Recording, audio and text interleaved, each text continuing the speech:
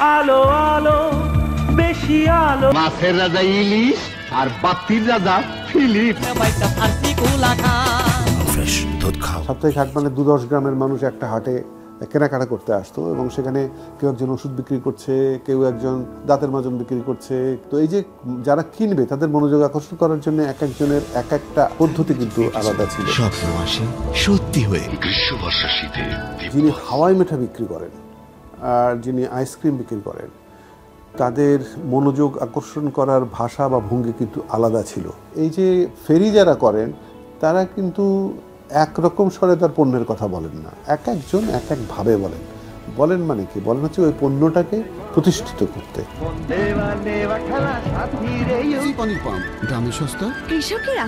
গুণমান সম্পন্ন একটি পণ্য যদি খুব বেশি বিজ্ঞাপন খুব বেশি উপস্থিতি তার টেলিভিশনের পর্দায় বা খবরের কাগজে বা বিল বিলবোর্ডে যদি না থাকে, তাহলে মানুষের মন থেকে সেটা সরে যায়। আমরা তো বলি যে মানুষের সাথে মানুষের সম্পর্কও তো ওরকমই, যে চোখের সামনে থাকলে একরকম, চোখের সামনে না থাকলে অন্যরকম। রোমান্সের এখানেই। নতুন কিছু করো।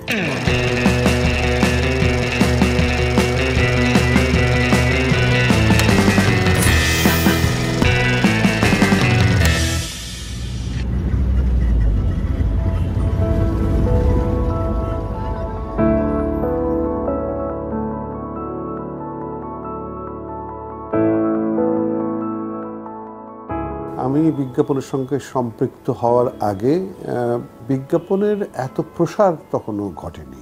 বিজ্ঞাপন ছিল বড় বড় বিজ্ঞাপনী প্রতিষ্ঠান অবশ্যই ছিল। বিলবোর্ড হতো খবরের কাগজের বিজ্ঞাপন হতো টেলিভিশনেও কিছু কিছু বিজ্ঞাপন হতো। টেলিভিশন জুড়ে তখন বিজ্ঞাপন ছিল না। টেলিভিশন কেন্দ্রিক বিজ্ঞাপনই জনমনে বিজ্ঞাপনের একটা আলাদা রাজত্ব তৈরি করেছিল। সত্তর দশকের মাঝামাঝি বিজ্ঞাপনে পরিবর্তনগুলো আসে বিজ্ঞাপনের ক্ষেত্রটা প্রসারিত হয় বিজ্ঞাপনের নতুন নতুন ভাবনা আসছে, নতুন নতুন মডেলদের টেলিভিশনের পর্দায় দেখা যায়।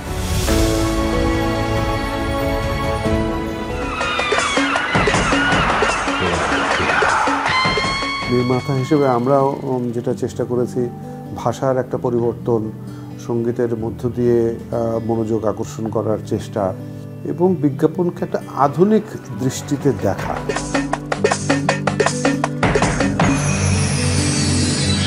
কখনো এই কথা ওঠেনি যে পণ্যটাকে বারবার উল্লেখ করতে হবে, পণ্যটাকে মনে গেঁথে দিতে হবে।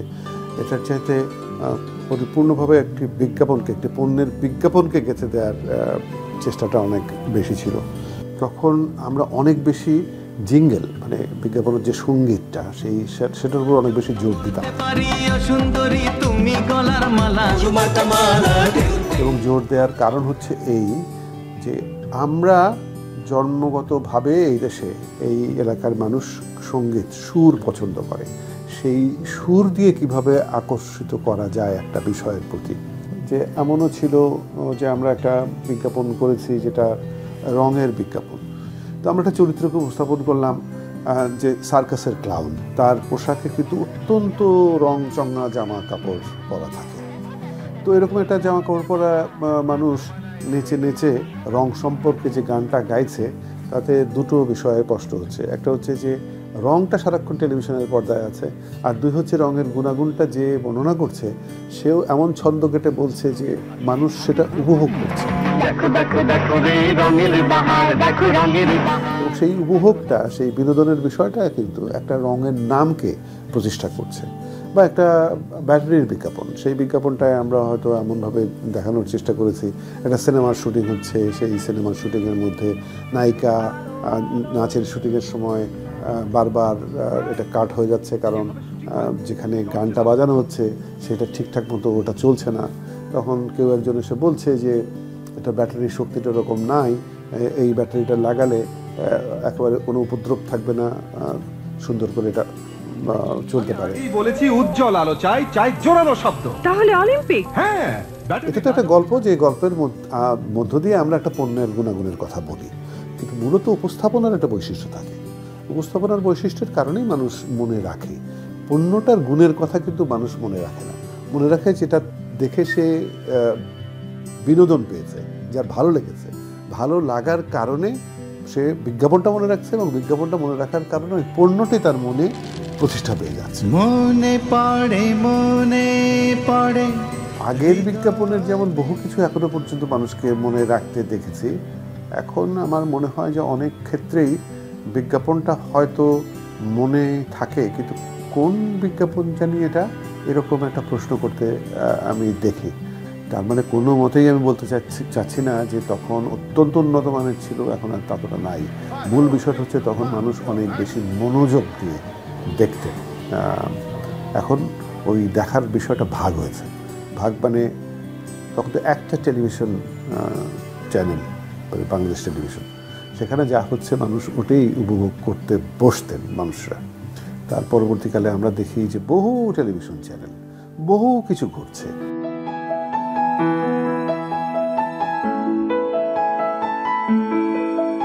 আমরা যখন বিজ্ঞাপনটা বানানো শুরু করি, তখন এমন ছিল না যে ক্যামেরা, শুটিং ইউনিট আপনি রেকর্ডার এগুলো নিয়ে আসতে পারছেন কোথা থেকে। কারণ প্রফেশনাল কোনো হাউস ছিল না তখন। অনেক কষ্টে, অনেক কৌশল করে নানাভাবে এগুলো জোগাড় করতে হতো। ভালো ভালো বিজ্ঞাপন বিদেশ থেকে বিদেশের কলাকুশলী এবং মডেল দ্বারা নির্মিত হয়েছে। কোনো কোনো ক্ষেত্রে দেখা গেছে যে আমাদের মডেলকে নিয়ে যাওয়া হয়েছে শুটিং করে নিয়ে আসা হয়েছে। আমাদের দেশে কোনো ভালো বিজ্ঞাপন হবে না, এই বিশ্বাস কারও কারও ছিল। দেশে যখন বানানো হয়েছে, তখন কলাকুশলীকে বাইরে থেকে আনা হয়েছে? এরকম একটা অবস্থার মধ্যে আমরা তখন বিজ্ঞাপন নির্মাণ করেছি। দু হাজার চব্বিশে এসে যদি আমি তাকাই যারা বিজ্ঞাপনের সঙ্গে এখন জড়িত, যেসব বিজ্ঞাপন এখন নির্মিত হচ্ছে, ক্যামেরা, ডিরেকশন, লেখালেখি যারা করছেন বা বিভিন্ন ক্ষেত্রে, বিজ্ঞাপনের ক্ষেত্রে যারা কাজ করছেন নেপথ্যের, তারা পৃথিবীর যে কোনো দেশের উন্নত বা একেবারে যোগ্যতর মানুষের সমান। এত চমৎকার কাজ তারা করে।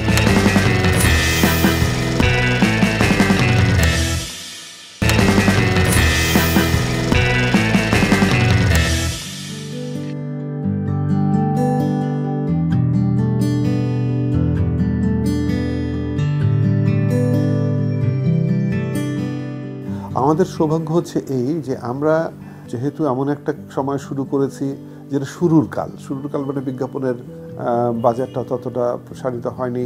বড় প্রতিষ্ঠানগুলো, বড় প্রতিষ্ঠানের সঙ্গে কাজ করছে। আমরা দেশের প্রতিষ্ঠানগুলোকে নিয়ে একটু একটু করে আগাচ্ছি। দেশের প্রতিষ্ঠানগুলো প্রথমে বিজ্ঞাপনে আসতে চাইছে।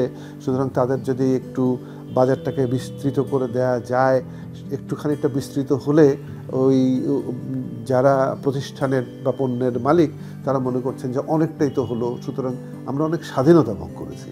আমরা আমাদের মতো করতে পেরেছি।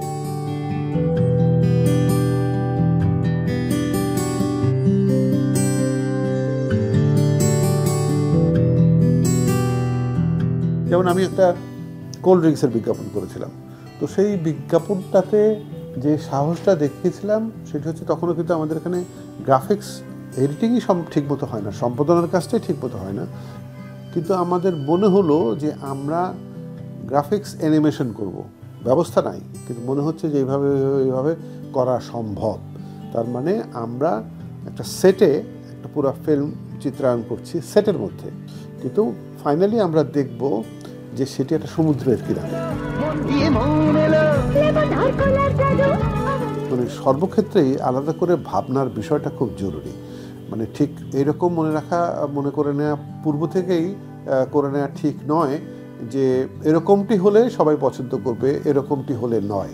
যা নতুন, তার প্রতি মানুষের আগ্রহ বা মনোযোগ সবসময় আছে এবং থাকে সত্তর দশকের মাঝামাঝি সময়কে যদি আমরা বিশ্লেষণ করি, তখন মডেলিং করতে চাইতো না কেউ। চাইতো না মানে হচ্ছে মধ্যবিত্ত পরিবার থেকে অ্যালাউ করা হতো না যে তার মেয়েটি বা ছেলেকে বিজ্ঞাপন করতে দেওয়া হবে। পরবর্তীকালে বিজ্ঞাপন যখন আমরা শুরু করি, তখন খেয়াল করবেন যে একটা সময়ে মৌ এলো, নোবেল এলো, তানিয়া এলো, পল্লব এলো, এবং তারা নিজেদের একটা এমনভাবে জায়গা তৈরি করে নিল বিজ্ঞাপনের মধ্য দিয়ে যে মধ্যবিত্ত পরিবারের অনেকেই স্বপ্ন দেখতে শুরু করল যে আমরাও তো এরকম একটা হতে পারি। তার পরিবারের যারা আছে তাদের মধ্যে তো স্বপ্নটা তৈরি হলো যে আমার মেয়েটি আমার ছেলে কিন্তু করতে পারে, কারণ এটি তো একটা সম্মান এবং মর্যাদার জায়গা। তার মানে বিজ্ঞাপন ওই জায়গাটা প্রতিষ্ঠা করতে পেরেছিল।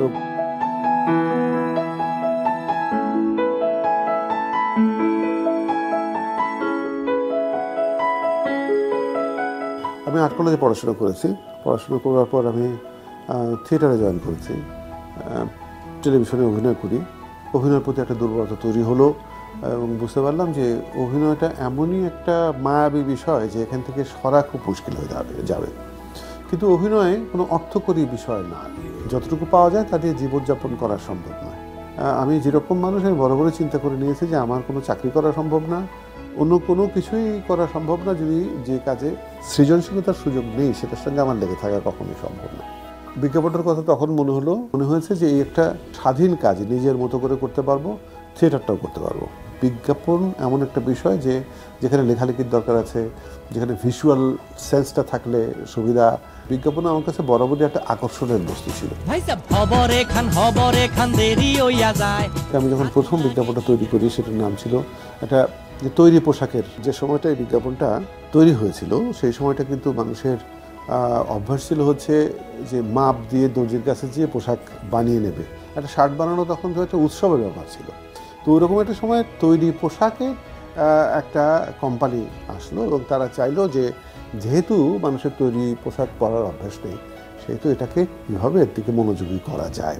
প্রথম আমার মাথায় আসে একটা সাদা ঘোড়া দৌড়চ্ছে। আমার মনে হয় যে পৃথিবীতে খুবই একটা পবিত্র দৃশ্য একটা, যে সবুজের মধ্য দিয়ে একটা সাদা ঘোড়া যার কেশর আছে, যার লেজটা খুব মানে যে স্লো মোশনে দেখা যায় যে দৌড়ানোর একটা সৌন্দর্য আছে সেই সৌন্দর্য মুগ্ধ হবেন না এমন মানুষ খুবই কম আছে। তো এরকম একটা দৌড় এবং সেই দৌড়টা হবে স্লো মোশনে এবং তার মধ্যে দিয়ে কিছু পোশাক দেখানো। মানে খুব সিম্পল আইডিয়া ভাগ্য ভালো যে যেটা নিজের মনে হয়েছিল সেটা কার্যকরী হয়েছিল। ওই বিজ্ঞাপনের কথা এখনও মানুষ মনে রেখেছেন।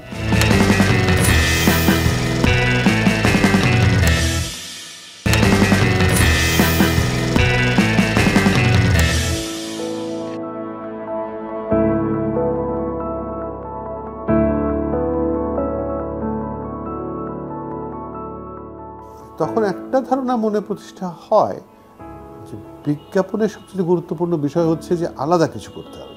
এবং প্রতি মুহূর্তে তখন চেষ্টা করা হয়েছে যে আলাদা কীভাবে করা সম্ভব হবে। আমরা একটা চায়ের বিজ্ঞাপন করেছিলাম। এখন চায় তখন যখন আমি চায়ের বিজ্ঞাপনটা করছি, তখন তো যেসব ব্র্যান্ডগুলো খুব পপুলার তার মধ্য থেকে নতুন একটা ব্র্যান্ডকে বার করে নিয়ে আসার এটা প্রধান বিষয় কি? আমি বলব যে স্বাদ খুব চমৎকার। সবাই তো বলে চায়ের স্বাদ খুব চমৎকার। তখন একটা জিনিস মনে হলো যে আমাদের দেশে অত্যন্ত সম্মানীয় অভিনেতা গোলাম মুস্তাফা, যার একটা আলাদা মর্যাদা আছে, যার একটা সম্মান আছে। তিনি যদি এন্ডোর্স করেন, তিনি যদি বলেন, এবং তার মুখ দিয়ে যদি আমরা একটা কথা, এই চা খুব ভালো, এটা আমরা বলাতে চাই না। আমরা একটা কথা যদি বলাতে পারি যে এই চা এবং আমি দুজনেই বাংলাদেশি। আমাদের কাছে মনে হলো যে এর চাইতে শক্তিধর কথা আর হতে পারে না। একজন অভিনেতা সগর্বের যে বাংলাদেশি, সেটি উচ্চারণ করছেন এবং একই সঙ্গে এটি চাকে বলছেন, সেটিও বাংলাদেশি। এবং সেটি খুবই মানুষ পছন্দ করেছিল। যত রকম পণ্যের বিজ্ঞাপন করেছে, আমাদের চেষ্টা ছিল যে সব ধরনের পণ্যের যেন আলাদা একটা অস্তিত্ব থাকে সেই পণ্যটি যেন আরেকটি পণ্যের সঙ্গে মিলেমিশে না যায়। আমরা যখন কাজ শুরু করি, তখন বিজ্ঞাপন লেখার জন্য আলাদা কোনো মানুষ ছিল না। হয়তো আমি বিজ্ঞাপন নিজেরটা লিখে নিজেই বানাচ্ছি। হয়তো সুরকার যিনি তার সঙ্গে যে বসছি যেটা লিখেছি সেটা কেমন সুর হওয়া উচিত আমি সুরকার নই, কিন্তু আমার মনে একটা ধারণা আছে যে এরকম হতে পারে কিনা। সুর কারা করতেন? বিজ্ঞাপন জনপ্রিয় হওয়ার জন্য কিন্তু এদের ভূমিকা ছিল অনেক। একটা হচ্ছে যে ফুয়াদ নাসের বাবু, যিনি খুব চমৎকার চমৎকার বিজ্ঞাপনের জিঙ্গেলে সুর করতেন, রিপন খান করতেন, আয়ুব বাচ্চু করতেন। এদের সঙ্গে বসে একটা সুর নির্মাণ করা একসাথে। তার মানে এটা একটা টিমওয়ার্কের মতো যে একটা কাজ ভাবা হয়েছে সেটি হয়তো ভাবার পরে একজন সুরকারের সঙ্গে যুক্ত হতে হচ্ছে, একজন ক্যামেরাম্যানের সঙ্গে যুক্ত হতে হচ্ছে মডেলরাও অনেক কন্ট্রিবিউট করেছে। সেট যিনি নির্মাণ করতেন, তিনি হয়তো নির্মাণ করে দিতেন, কিন্তু ভাবনাটা হয়তো আমার ছিল। এই যে সবাই মিলে একটা বিষয় দাঁড় করানো, সেটি পরবর্তীকালে যখন এটার পরিধিটা বেড়েছে তখন ন্যাচারালি কাজগুলো অনেক বেশি ভাগ হয়েছে। হয়তো লেখার জন্য একজন হয়েছেন ভাবার জন্যে তিনজন, চারজন আছেন যে পোশাকটা এরকম হবে দেখাবে এমন। সেটটা এমন হতে হবে। তার মানে একজন নির্মাতা অনেককে কাজটা ভাগ করে দিয়ে নিজে অনেকটা হালকা হয়েছেন এবং হালকা হতে পেরে হয়তো তার নির্মাণ যে শৈলীটা সেটা আরও বাড়াতে পেরেছেন। এটা একটা সময়ের সবচাইতে ভালো দিক।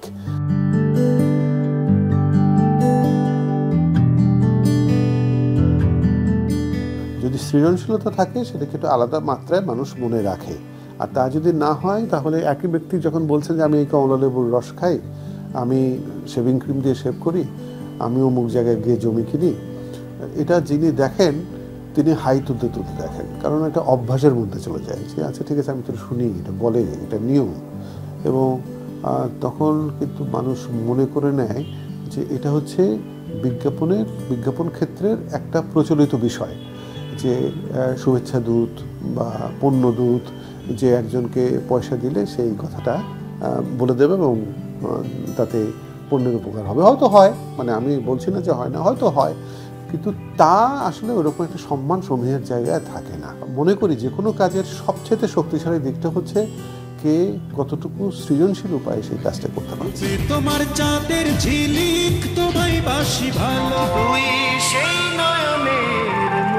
মনে করা হয়েছে যে এই ভাষাটা এই শব্দটা ব্যবহার করলে মানুষ অনেক পছন্দ করবে।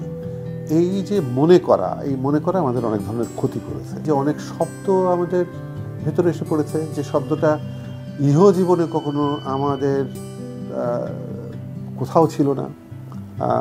অদ্ভুত অদ্ভুত কিছু শব্দ। আমার যা বয়স বা আমাদের মতো যারা, তারা কোনোদিন প্যাড়া শব্দটা শুনেছেন। এই যে অদ্ভুত কিছু শব্দের আমদানি হলো দল মনে করলেন যে এগুলোই বিজ্ঞাপনকে প্রধান করে তুলতে পারবে। কিন্তু তারা ভাবলেন না যে এগুলো ছাড়াও বিজ্ঞাপন প্রধান হয়ে উঠতে পারে, হয়েছেও। ইচ্ছা করলে যদি আমরা তাকিয়ে দেখি, তাহলে প্রচুর উদাহরণ কিন্তু আমরা পাবো। অনেক সময় দেখা যায় যে চাপের মুখে একটা মানুষ মেনে নিয়ে যে প্রতিযোগিতা জিততে চাইছে, সে কিন্তু একটা দুর্বল বিষয়কে উপস্থাপন করে ফেলছে। এই আশায় যে এটি মানুষ বেশি পছন্দ করবে। আবার একদিক দিয়ে মনে হয় যে হ্যাঁ ওইভাবে মনোযোগ আকর্ষণ করতে গিয়ে যেমনতর ভাষা ব্যবহার করা হয়েছে অমনতর ভাষার প্রভাব মানুষের উপরে পড়েছে কিন্তু বিজ্ঞাপন তার জন্য উপকৃত হয়নি। মানে মানুষ তার জন্য ক্ষতিগ্রস্ত হয়েছে।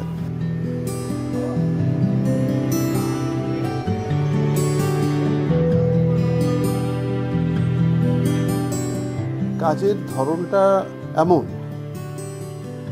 যা পারিবারিক জীবনকে বিপর্যস্ত করতে পারে। শুটিং থাকা মানে পুরোদিন মানে রাতের মধ্যে ফেরাই হয়নি। তো এই সমস্ত সময়গুলোতে সংকট আসতে পারে। আমার ক্ষেত্রে সেটা ঘটেনি। জীবনের কাছে আমার কৃতজ্ঞতা শেষ নেই। যা পেয়েছি এগুলো তো আসলে কখনো চাইনি। জীবনটা হচ্ছে একটা যাত্রার মতো শুরু করেছি। আমার সৌভাগ্য যে প্রতি মোড়ে আমি অনুপ্রাণিত হয়েছি। সেটি অভিনয় অভিনয় করতে গিয়ে, লিখতে গিয়ে, উপস্থাপনা করতে গিয়ে, আঁকতে গিয়ে বা বিজ্ঞাপন নির্মাণের ক্ষেত্রে।